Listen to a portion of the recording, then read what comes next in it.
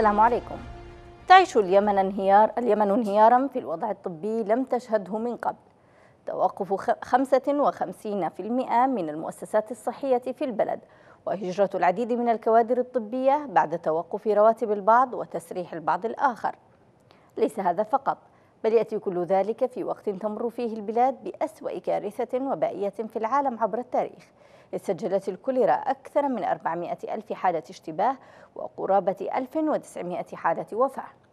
وأمام هذا كله وبدلا من إعلان حالة الطوارئ لإنقاذ المواطنين المواطنين المصابين وتوفير الأدوية اللازمة في بلد فقير يعاني من انقلاب وحرب. عمدت سلطات الحوثي وصالح في صنعاء على تخصيص مبالغ ضخمة لتنفيذ ما أسموها حملة توعية بالكوليرا قناة بلقيس حصلت على وثائق من وزارة الصحة الخاضعة لسيطرة الانقلابيين خصصت فيها مبلغ مليار وسبعمائة مليون ريال لعمل حملة توعوية كما تظهر, تظهر. تظهر الوثائق التي سنستعرضها لاحقا هذا العبث وعدم الاكتراث بحياة اليمنيين يقابله عبث من نوع آخر في مناطق سيطرة الحكومة ولو بطريقة مختلفة فاليوم في تعز توفي أحد المرضى أمام بوابة مستشفى الثورة نظرا لتوقف المستشفى عن تقديم خدماته للمرضى بسبب انطفاء الكهرباء وعدم توفر مادة الديزل لتشغيل المولدات. أعزائنا المشاهدين أين هي شرعية الحكومة؟ إذا لم تستطع توفير الديزل لتشغيل أهم مستشفى في تعز. وماذا عن المنظمات الدولية؟ هل هي ملاك الرحمة المسخر لليمنيين؟ أم أنها من تأخذ الدعم الدولي باسمه ولا يصله سوى القليل؟ ماذا عن الأصوات المتعالية للحكومة مؤخرا والتي تطالب منسق الأمم المتحدة والمنظمات الدولية بكشف النهب الذي يقوم به الحوثيون وصالح للأدوية والمواد الإنسانية؟ كل هذه الأسئلة سنناقشها في هذا المساء ولكن بعد مشاهدة هذا التقرير. الوفيات يقدرون ب 1900 حالة وحالات الاشتباه بالكوليرا تتجاوز 400 ألف حالة على امتداد اليمن. وباء الكوليرا أكثر انتشارا وفتكا باليمنيين. فيما سلطة الميليشيا لا تجد حرجا من استثمار هذا الوباء وجعله مصدرا آخر لنهب المزيد من المال العام. هنا وثيقة حصلت عليها بلقيس تظهر جانبا من خطة تابعة لوزارة الصحة التي يسيطر عليها الحوثيون. ترصد مبلغ مليار وسبعمائة مليون تحت مبرر حملة توعوية لمكافحة الكوليرا. مبلغ كبير يتضح من تفاصيل الخطة أنه سيذهب ثمن لافتات قماشية وإعلانات في الوقت الذي تعجز معظم مستشفيات المدن الخاضعة لسيطرتهم عن توفير أدوية الوباء. مفارقات مؤلمة توضح مدى استغلال الانقلابيين لمعاناة الناس في نهب أموال الشعب والمتاجرة بآلامه.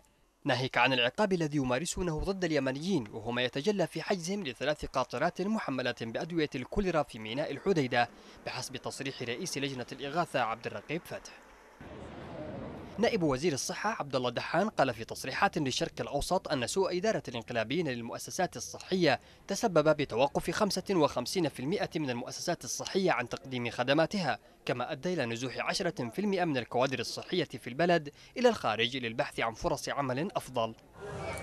تتعدد أشكال وأسباب الانهيار الذي يضرب القطاع الصحي في البلد فعلى الضفة الأخرى من سيطرات الميليشيا وتحديدا في تعز لا يبدو أن الوضع أفضل حالا. فعلى بوابة مستشفى الثورة يموت أحد المرضى نظرا لعدم قدرة المستشفى على توفير العلاج. المستشفيات الخاصة أيضا أعلنت عن إغلاق أبوابها أمام المرضى نظرا لانتهاء عقودها مع مركز الملك سلمان الداعم الوحيد لها خلال الفترة الماضية. وأمام هذا الانهيار الطبي في تعز تقف السلطة المحلية موقف المتفرج فيما المرضى يموتون على أبواب المستشفيات. التقارير الدولية المتعاقبة تحذر من كارثة صحية وإنسانية في اليمن تضرب أكثر من 90% من اليمنيين. وكما قيل إذا عظم الداء عز الدواء. في بلد يعاني من انقلاب يتاجر بآلام الناس وشرعية تعجز عن الوفاء بأبسط التزاماتها. إذا مشاهدينا الكرام سيكون معنا في هذه الحلقة عبر الهاتف الدكتور علي الوليدي وكيل وزارة الصحة لقطاع الرعاية من عدن. مساء الخير دكتور علي. أهلا مساء الخير. أهلا بك. دكتور يعني انتشار وباء الكوليرا وما شهدته البلاد مؤخرا آه، من أوبئة. كيف تفسر هذا الانهيار المخيف لمنظومة الصحة في آه، اليمن وانتشار هذه الأوبئة؟ بسم الله الرحمن الرحيم. في البداية أشكر الأخوان في قناة بلقيس وجميع طاقم القناة على تغطيتهم لهذا الحدث. آه، حقيقة بسبب الحرب الذي شنتها الميليشيا على الشعب اليمني سبب ذلك إلى انهيار ما يقارب من 55% من المنشآت الصحية والقطاع الصحي لم يتبقى إلا 45% كذلك شرد عدد من الكادر الصحي من هو من عذب من هو من من اعتقل من هو من استشهد من هو من جرح بسبب الحرب الذي شنتها الميليشيات. كل ذلك أثر سلبا في في على على على الوضع الصحي في في بلادنا.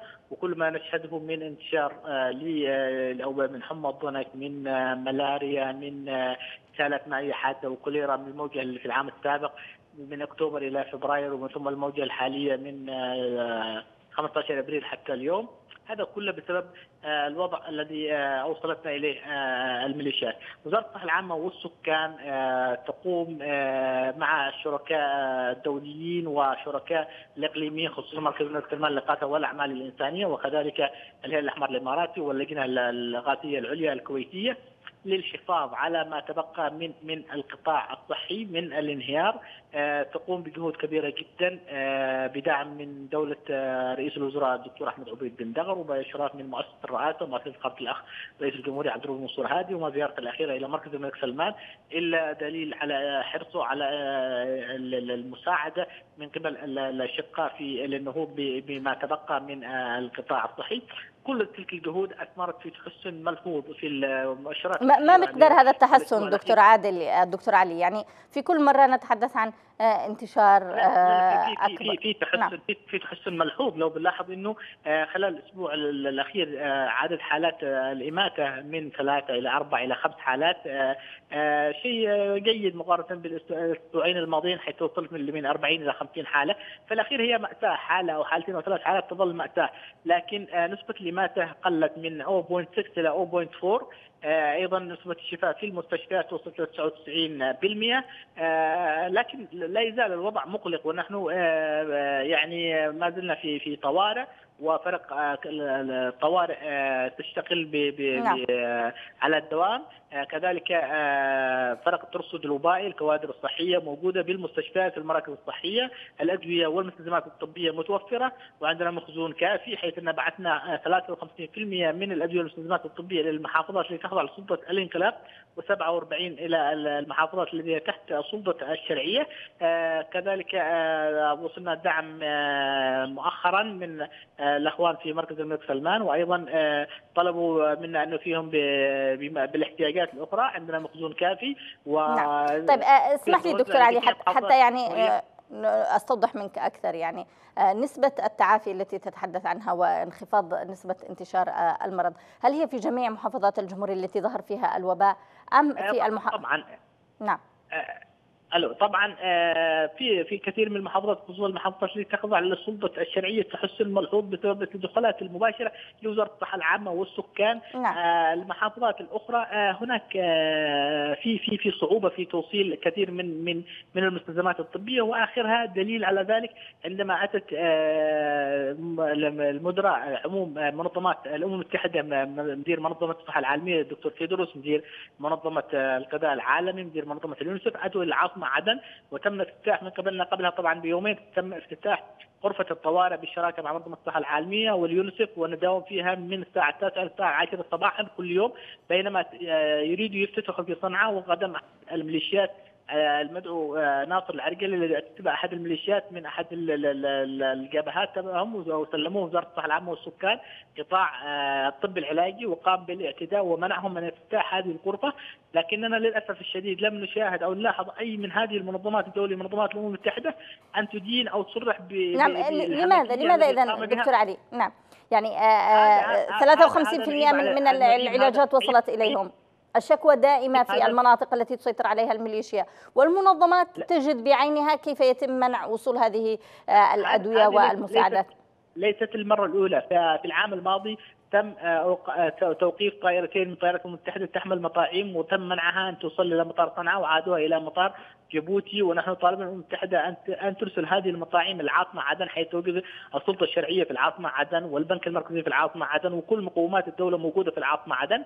لكن للأسف الشديد حتى اللحظة آه، ما يزال هناك وعود. آه، أيضا تم الاعتداء على برنامج التحصين ونهب سيارات برنامج التحصين في صنعاء وتم الاعتداء على برنامج الملاريا ونهب آه، سيارات برنامج الملاريا وتم الاعتداء على موظفي البرنامج وكذلك الهيئة العليا للأدوية. جميع ذلك تقوم بها هذه الميليشيات. إمام صمت من قبل منظمه الأمم المتحدة واخرها تم الاعتداء على غرفة العمليات الذي كان في متوقع افتتاحها من قبل مدراء عموم منظمات الأمم المتحدة في صنعاء. والى الأسف الشديد تعامل في هذا الاتجاه حتى لم يصدروا تصريح إدانة فيما قام به تقوم به هذه الميليشيات ناحية المنظمات الأمم المتحدة. نعم. طبعا هي عبثت بالشعب اليمني توزع الموت في كل مكان وتم الاعتداء مؤخرا على منظمات الأمم المتحدة لكن إلى حتى اللحظة لم يصدر أي أي إدانة من قبلهم. نعم. اذا يعني في هذه النقطة دكتور علي يعني تمنع الميليشيا وصول الأدوية إلى مستحقينها. تصادر أيضا الكثير منها وتبيعها في السوق السوداء. تحارب المنظمات الدولية التي هي صامتة ولا ندري لماذا. هناك أيضا يعني نود أن نتحدث عن أن الميليشيا يعني اليوم تصرف ما يربو على مليار ريال في أنشطة دعائية للوقاية من الكوليرا. هل هذا ما يريده المواطن فعلا؟ هل هو بحاجة الفيديوهات المصورة واليافطات المعلقة من أقمشة وغيره لا هو هو ليس بهذه الصورة إنما هو الحملة الوطنية القادمة التي تجمع وزارة الصحة العامة والسكان على تدشينها في جميع محافظات الجمهورية من 5 إلى 10 أغسطس من منزل إلى منزل سوف يتم توزيع كلور كلورة المياه للمنازل وكذلك توزيع سوائل محاليل الإرواء وأيضا تثقيف صحي لدى كثير من المنازل وهذا بكل تأكيد سيؤثر سيكون له مردود إيجابي في الحد من الإسهالات المائية الحادة والكوليرا. لجميع محافظات الجمهورية وبإشراف من قبل طاقم الوزارة في جميع محافظات الجمهورية وكوادر الوزارة في ذلك طبعا هذا بالتعاون مع منظمة منظمة الصحة العالمية وكذلك اليونسف. نعم دكتور علي ما زلت معي؟ نعم نعم معي. نعم اذا أود أن أسألك أيضا هل المعونات الإغاثية التي تصلكم توفر الحد الأدنى من حاجة الناس المتضررين؟ حقيقة الفجوة كبيرة جدا لكن في عندنا أدوية ومستلزمات طبية وتوزع على المحافظات بالتساوي وكذلك نحن نقوم بتوزيعها أكثر للمحافظات التي هي المحافظات المستهدفة. مثلا صنعاء أمانة العاصمة سابقا تم ارسال لها خم... تخصيص لها 15% من هذه المساعدات الطبية. وصلتنا من 10 يوم تقريبا مساعدات من جمهورية الصين حوالي 37 حاوية. كذلك دولة الهند نعم. بعد زيارة وزير الخارجية مؤخرا لهم طلبوا منا كشف بالاحتياجات في الأدوية والمستلزمات الطبية ورفعنا لهم بكشف بذلك. أيضا الأخوان في مركز الملك سلمان باستمرار وعلى الدوام لهم يعني مجهود كبير جدا. في الأدوية والمستلزمات الطبية وعلى وكذلك حتى على مستوى مراكز الغسيل الكلوي بيدعموا في ذلك، الأخوان نعم. في الصندوق الكويتي دعموا في مراكز الغسيل الكلوي، لكن تظل الفجوة كبيرة وجهود كبيرة تبذل من الأشقاء في مجلس التعاون الخليجي للحد من هذه المعضلة. نعم إذا شكرا جزيلا لك دكتور علي الوليدي وكيل وزارة الصحة لقطاع الرعاية. كنتم معنا عبر الهاتف من عدن وينضم إلينا أيضا دكتور عبد العزيز الشدادي مدير عام مكتب الصحة بمحافظة مأرب. من هناك مساء الخير دكتور عبد العزيز. مساءك سعادة أنت والأخوة المشاهدين أهلا وسهلا فيكم. أهلا بك معنا دكتور. ما تقييمك للوضع الإنساني في البلاد خاصة في الأيام الأخيرة على الصعيد الصحي والاغاثي حقيقة أظن لا لا يعلو كما يقول الحاجب على العين والعين على الحاجب فالدكتور علي الوليدي أجاد وأفاد في المجال هذا. وهو من دعائم وزارة الصحة مع الدكتور ناصر باعم يبذلوا كل الجهود مع الوكلاء في إيجاد وسد الفجوة الكبيرة التي تعاني منها الصحة في الجمهورية اليمنية.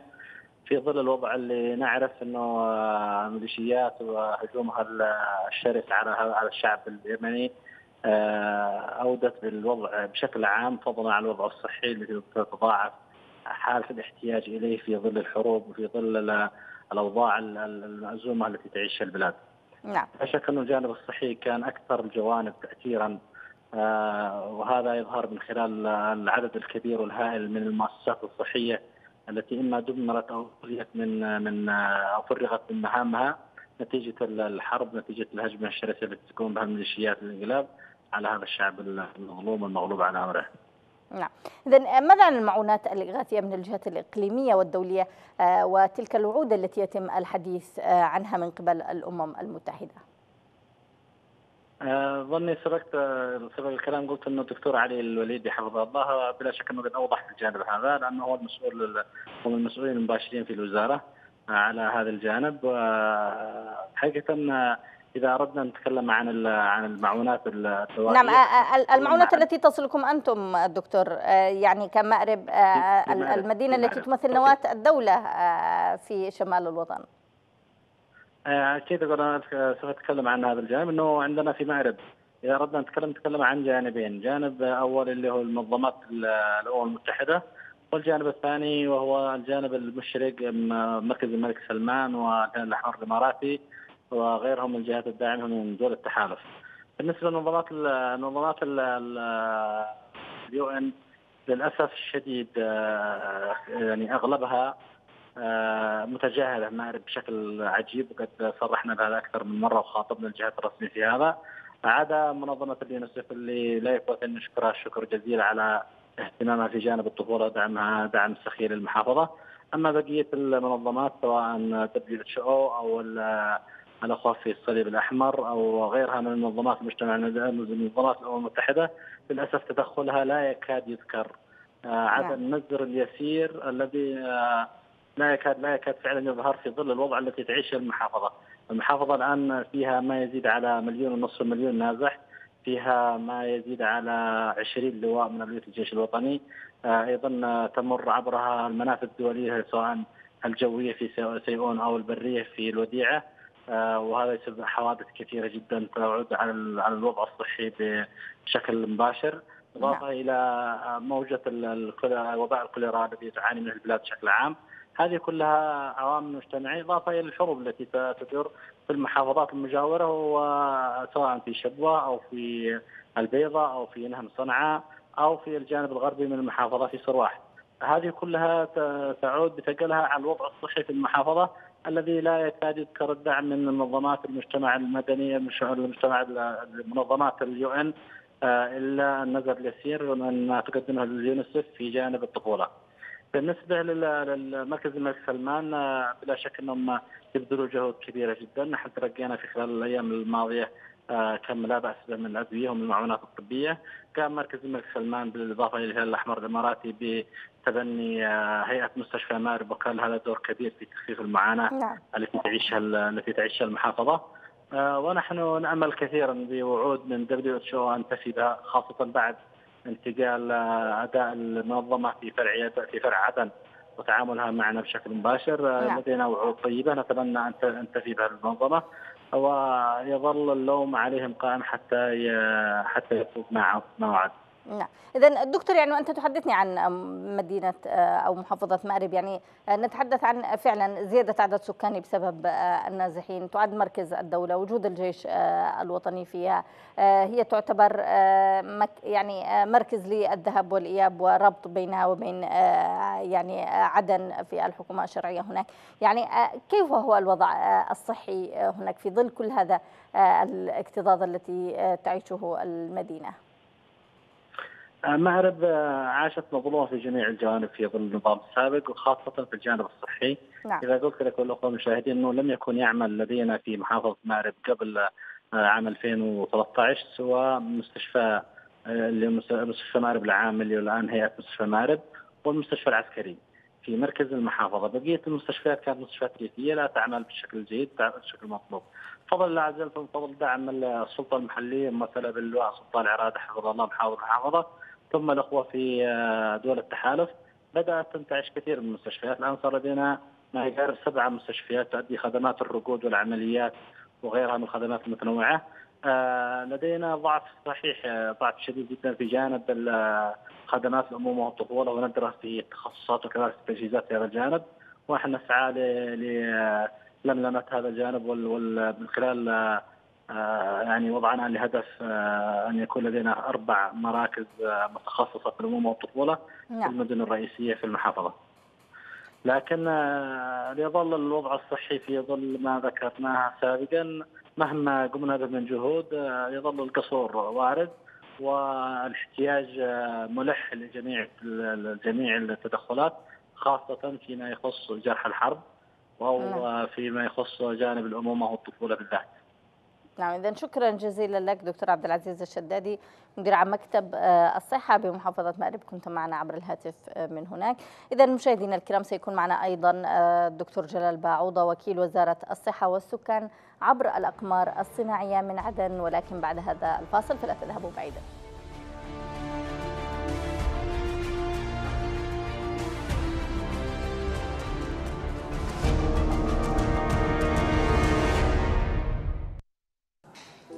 محمد ردمان حسن قاسم من الواجعية والخروج بسبب دخلت الحوثيين بالقصف حقهم. سحبنا الجهال عدينا أولادي سحبتهم فوق الحمير واللي نحملهن ولا المنطقة حق السدين وال بعد عاد لحد انتبه علينا. لا منظمة ولا من عادينا الشهر هذا ندور لنا حبوب. بر لقدرنا نطحن نقرطه. ما لك أنت. في بهدلة لكن على البال. على ربك. حلا من عندي.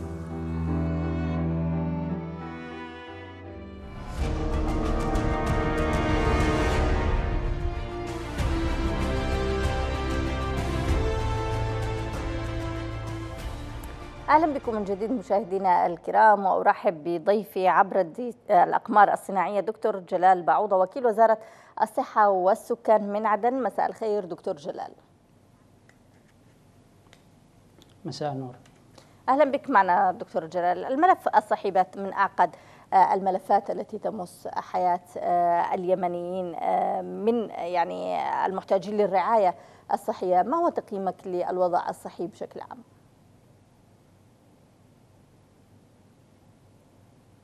أهلا وسهلا. آه، طبعا الوضع آه، بشكل عام آه، في اليمن سواء الوضع الصحي أو غير الصحي لا يخفى على متابع الوضع متأزم. نحن نعيش في في وضع استثنائي ولكن نعمل بال بالطرق المتاحة لدينا. الحمد لله نقول الآن الأمور لا بأس مستتبة. بالنسبة للجانب الصحي الرعاية الأولية هناك يعني نقول دعم لا محدود إن شاء الله من من آه، من آه، رفقائنا أو شركائنا آه، مركز الملك سلمان والهلال الأحمر الإماراتي ولجنة الإغاثة الصحية في الجانب الكويتي أو دولة الشقيق الكويت الشقيقة.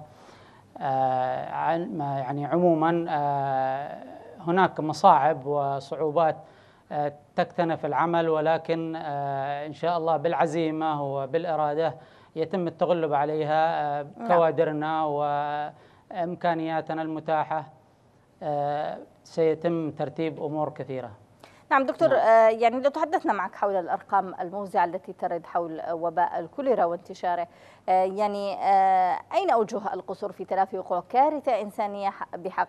يعني أكثر مما هو حاصل آه، الآن. آه، نجد أن المدة يعني منذ 15 آه، إبريل وحتى الآن مدة طويلة يتزايد فيها الوباء انتشارا. نعم بالنسبة للمناطق المحررة كما نكرر دائما أو كما تشير التقارير المرفوعة لدينا ونحن أيضا على الأرض نلمس هذه الأمور يعني ونشاهدها. في المناطق المحررة كما قلنا ليس هناك انتشار مزعج. ولكن الإزعاج أو الانتشار الوبائي هو في المناطق الخارج السيطرة الشرعية وذلك لعدة أسباب منها عدم وصول الأغاثة آه، الأدوية والمستلزمات الطبية اللازمة لمكافحة المرض. وأيضا هروب عاملين الصحيين في المجال الصحي نعم. سواء بمضايقات أو تعرضهم ل يعني استفزاز أو أعمال من هكذا أو عدم حصولهم على أجورهم المتراكبة تقريبا شهور لم يستلم الكادر الصحي أو إن لم يكن سنوات في صنعاء والمحافظات المجاورة هذا هذا وأيضا عدم استلام عمال النظافة نعم لا نعم هذه هذه الأسباب جميعا نعم. أتفق نعم. أتفق فيها معك دكتور عادل نعم. ولكن لا تعفيكم من مسؤوليتكم في نهاية الأمر أنتم كحكومة شرعية مسؤولون عن أولئك الناس القابعين يعني تحت سلطة الميليشيا. يعني بالأمس ناقشنا حلقة حول الأوضاع في إب تقريبا 240 حالة قضت بسبب وباء الكوليرا. صنعاء أيضا مهددة حج كثير من المناطق التي الحديدة وكثير من المناطق التي تعاني من الانتشار. أين هو دوركم في هذه المناطق؟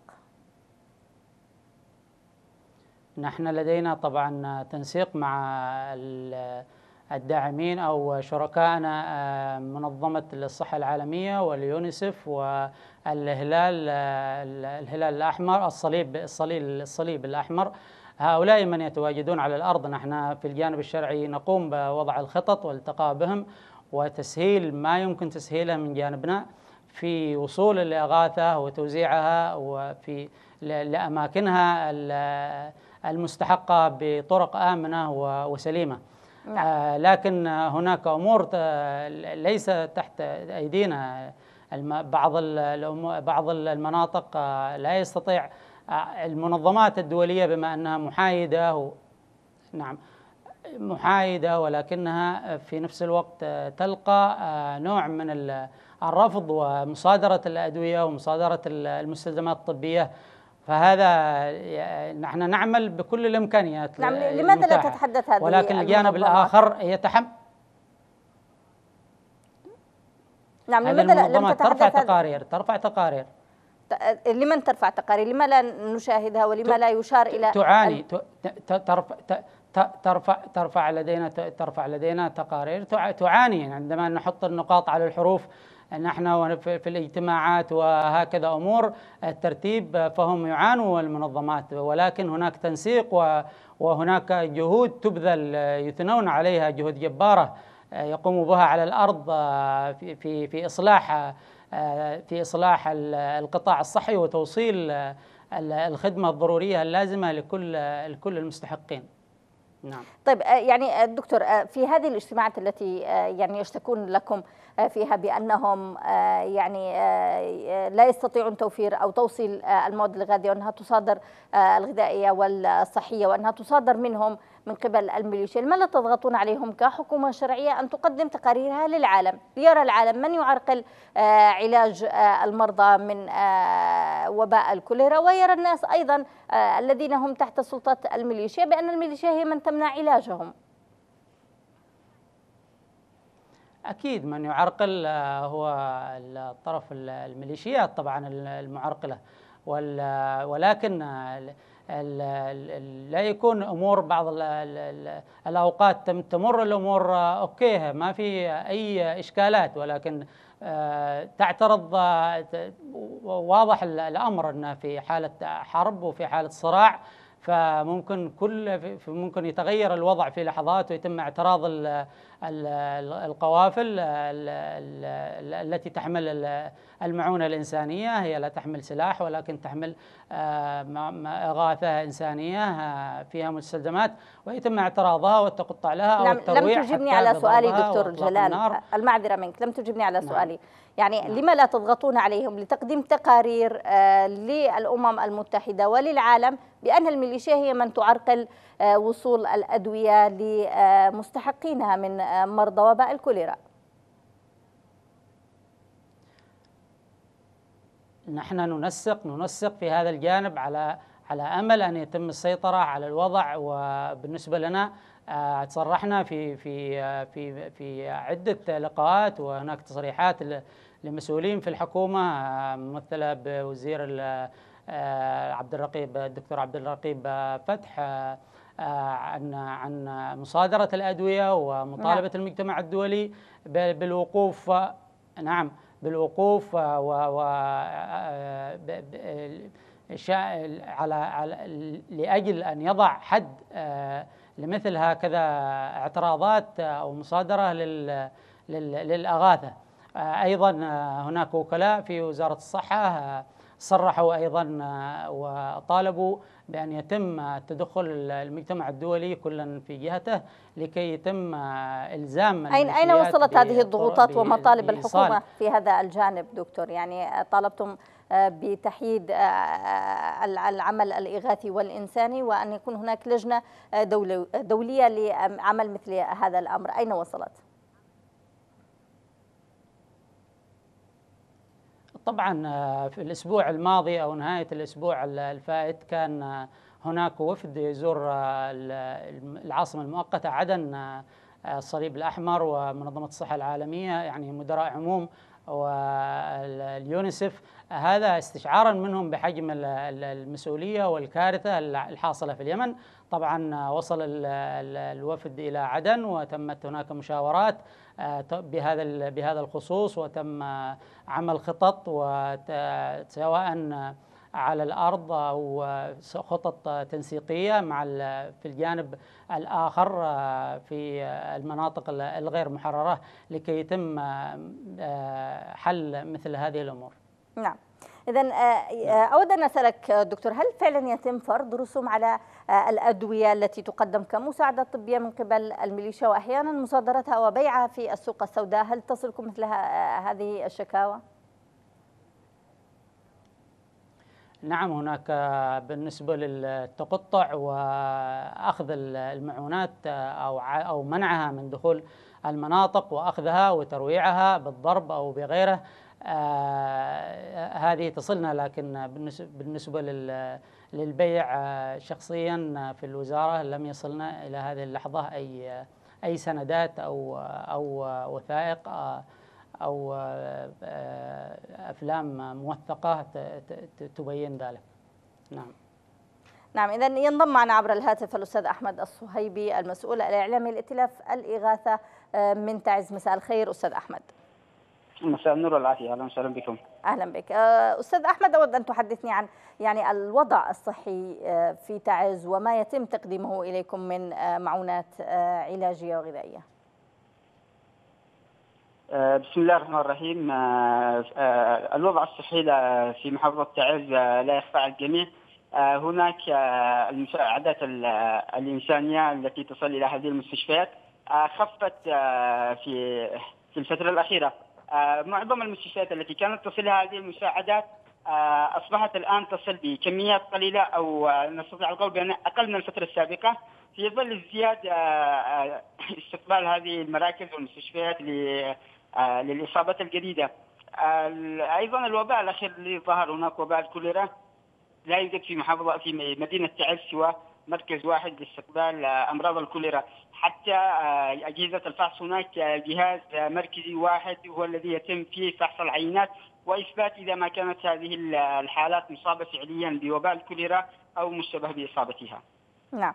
إذا آه، دعني أنقل هذه آه، النقاط للدكتور جلال وهو معنا ويستمع إليك. ما رأيك دكتور جلال؟ يعني خفت المعونات الغذائية. هناك أيضا مركز واحد فقط هو من يستقبل حالات الوباء ويحدد هل هو إصابة كاملة أم مشتبه بها. لماذا يعني؟ رغم أن تعز كثافة سكانية عالية ومهددة كثيرا لسوء الخدمات الصحية هناك. وهي قريبة منكم أيضا. نعم أكيد بالطبع. نعم تعز تعاني وتعز لل يعني لا يخفى على متابع وضع تعز كارثي ولكن هناك نحن بالنسبة للمجال الأغاثي لدينا منظمة الصحة العالمية هي من من تقوم بتوزيع الأغاثة طبعا على على كشوفات ترفع حسب احتياج المديريات ثم حسب احتياج المحافظة ككل. آه، طبعا اللي اللي يتم رفعها عبر مدراء عموم المديريات وأيضا عبر مدير عام الصحه في المحافظة سواء في تعز أو في غير تعز. عندما وصلت قوافل الأغاثة تم الطلب مباشرة من آه، وزير الصحة بالرفع إلى آه، وزارة الصحة لكي يتم الصرف تموين تلك المحافظات كلا في محافظته كلا في مديريته وتم الرفع وتم صرف الأغاثة. هذه أمور تشرف عليها منظمة الصحة العالمية لتوصيل الأغاثة إلى إلى هذه المناطق. نعم. اذا آه، دعني أعود إليك آه، أستاذ أحمد. أستاذ أحمد يعني آه، حدثني عن الجهود التي تقومون بها في مكتب الائتلاف للإغاثة. ما هي الحالات التي تم إغاثتها أو عددها؟ وما ما الذي ينقصكم لكي يعني تستكملوا أعمالكم؟ الجهود الإنسانية والصحية التي قدمها ائتلاف الاغاثه منذ تأسيسه في في بداية بعد بدء الحرب وحتى اليوم هي توزيع المساعدات الطبية والأجهزة والمستلزمات آه، إلى المستشفيات التي تشهد كثافة آه، كثافة في عدد الزائرين والوافدين إلى هذه المستشفيات. هناك نفذ الائتلاف عدد كبير من هذه المشاريع المشاريع بدعم من منظمة الصحة العالمية أو مركز الملك سلمان والمنظمات الدولية الأخرى. آه، بالإضافة إلى جهود الائتلاف التي يبذلها عن طريقه الشخصي هناك أيضا جهود آه، آه، أكثر من 200 مؤسسة وجمعية هؤلاء أعضاء الائتلاف الكثير من هذه الجمعيات والمؤسسات قدمت أيضا مساعدات صحية إلى إلى هذه المراكز نعم. في المشاكل التي تعاني منها هذه مثلا هذه المستشفيات والمراكز هناك في مديرية الريف الحرب بدأت تتسع كان حالها أفضل. مديرية الريف أفضل من حال المدينة. الآن آه، ما يحصل في مديرية الريف. الحرب بدأت آه، آه، بالتوسع إلى هذه المناطق. هناك نزوح كبير للمواطنين. هؤلاء المواطنين لا يجدوا مراكز صحية متخصصة لعلاجهم من الأمراض التي يصابون بها. أيضا بعض هذه المراكز تعرض لاستيلاء جراء المواجهات المسلحة ونزوح الكادر الطبي. وإضافة إلى ذلك الكادر الطبي المتخصص الذي كان متواجدا قبل بدء الحرب في مستشفيات المدينة آه، غادر هذه المدينة إلى محافظات أخرى هذه المستشفيات تفتقر الآن إلى الكادر الطبي المتخصص نعم. آه، الذي بإمكانه إجراء الكثير من العمليات المهمة والجراحية نعم إذا آه، أستاذ آه، أحمد أيضا يعني آه، أود أن أسألك عن مدى تواصلكم مع الجهات المعنية الحكومة منظمات الإغاثة وما يعني هل تقدم لكم مساعدات لكي تستطيعوا يعني إغاثة من يحتاجون؟ سأعرج على المشروع الأخير الذي يتم تنفيذه حاليا من قبل الائتلاف. أيضا هذا المشروع يتم بالتنسيق مع مكتب الصحة العامة والسكان وهو مشروع آه، سوء التغذية. آه، يستهدف هذا المشروع أربع مديريات بتمويل من آه، من إحدى المنظمات الدولية. يستهدف أربع مديريات لفحص الأطفال وإعطائهم الأدوية والمستلزمات الطبية الخاصة بذلك. نعم. أيضا في نعم في المشاريع الأخرى أيضا كان هناك في السابق اللجنة الطبية العليا وبعدها أتى مكتب الصحة العامة والسكان كل المشاريع التي يتم تنفيذها للمستشفيات يتم تقديم نسبة الاحتياج من قبل هذه المستشفيات بعد موافقة مكتب الصحة العامة والسكان على هذه النسب ومدى احتياجها وعلى أساس هذه النسب يقدم الائتلاف المساعدات اللازمة لهذه المستشفيات نعم إذا شكرا جزيلا لك أحمد صيبي المسؤول الإعلامي لائتلاف الإغاثة. كنت معنا عبر الهاتف آه، من تعز. آه، عودة إليك آه، دكتور جلال. دكتور جلال يعني هل يوجد لديكم يعني في خططكم المستقبلية وضع مراكز متخصصة في الأرياف خاصة في المناطق التي تم ذكرها أو على الأقل تفعيل بعض المراكز السابقة كمستشفى التربة وغيرها من المستشفيات ومدها بالطواقم الطبية؟ نعم الآن الوضع يحتم علينا تفعيل آه، المراكز الطبية في في المحافظات وفي المديريات. آه، أكبر عدد ممكن آه، لكي يتم السيطرة أو تقديم خدمة صحية متكاملة أو خدمة سريعة لأن معظم الإصابات سواء لو أخذنا على سبيل المثال مرض الكوليرا آه، وصول المريض متأخر إلى المرفق الصحي آه، بعد أن يفقد كمية من السوائل المرض ليس ليس ليس مستعصي أو صعب علاجه ولكن فقده سوائل في الساعات الأولى آه، بسبب عدم وصوله إلى المراكز الصحية يعرض حياته للخطر إن لم يكن الوفاة. فهذه أمور تعمل لها الخطط. إن شاء الله وهناك داعمين لنا في هذه المجالات مركز الملك سلمان والأغاثة الكويتية والهلال الأحمر الإماراتي أيضا كلا حسب نعم. وجوده وتدخلاته على الأرض. نعم. نعم إذا دكتور ما مصير الإغاثات التي تأتي عبر ميناء آه، الحديدة والذي تسيطر عليه الميليشيا خصوصا وأن هناك تصريح سابق للأستاذ عبد الرقيب فتحي يقول أن الحوثيين يمنعون آه، سفينتين محملتين بأدوية خاصة بوباء الكوليرا من الدخول.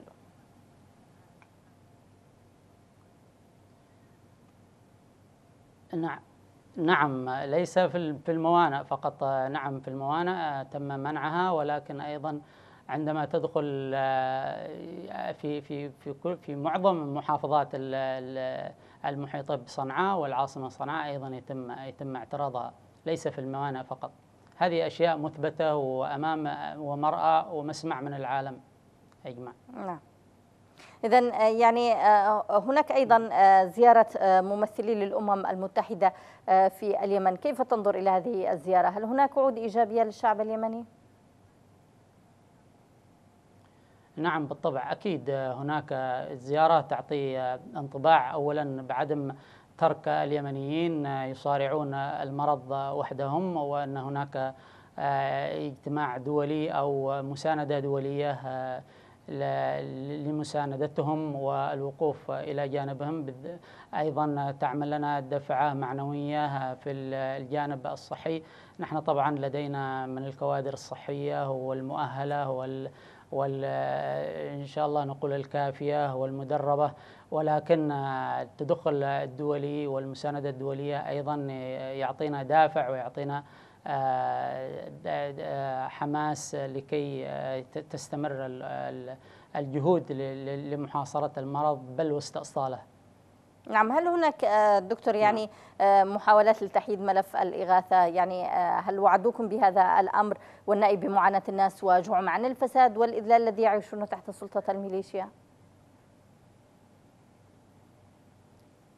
لم أفهم ما يعني هل هل تم وعدكم على الأقل بتحييد ملف آه، الإغاثة آه، ويعني جره وسحبه من آه، سلطات الميليشيا وعمل لجنة دولية لمتابعة مثل هذا الأمر عوضا عن يعني ذل الناس وتجويعهم بالفساد الحاصل؟ نعم نعم هناك الوفد الزائر مؤخرا نعم. بحث مثل هذه المواضيع وتم التنسيق في أمور آه، من هذا القبيل وهناك الأمور تمشي حسب ما هو مخطط لها إلى الآن إن شاء الله بتكون هناك ترتيب أكثر في هذا الجانب. نعم إذا آه، بالتأكيد آه، يأمل الشعب اليمني آه، الكثير منكم وخاصة بالجهود الواضحة في المناطق المحررة. نأمل أن تصل هذه الجهود إلى جميع أبناء الشعب اليمني شكرا جزيلا لك دكتور جلال بعوضة وكيل وزارة الصحة والسكان. كنت معنا عبر الأقمار الصناعية من عدن. الشكر لكم أيضا. مشاهدينا الكرام لحسن متابعتكم الآن نلتقيكم في مساء يمني جديد. كونوا في رعاية الله وأمنه.